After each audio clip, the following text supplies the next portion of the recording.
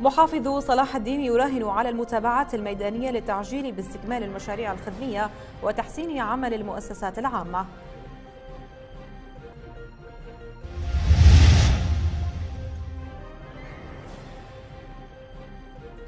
قائد عمليات صلاح الدين يؤكد القضاء على خلايا داعش النائمة بالمناطق الحدودية مع المحافظات لتسهيل عودة النازحين.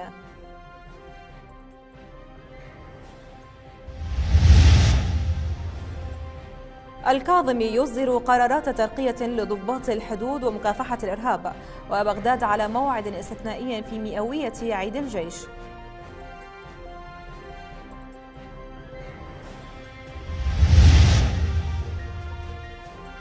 والبرلمان يكشف عن تهريب 305 تريليون دينار عراقية وقلق كبير من تأثير سعر صرف الدولار على فرص العمل والإعمار.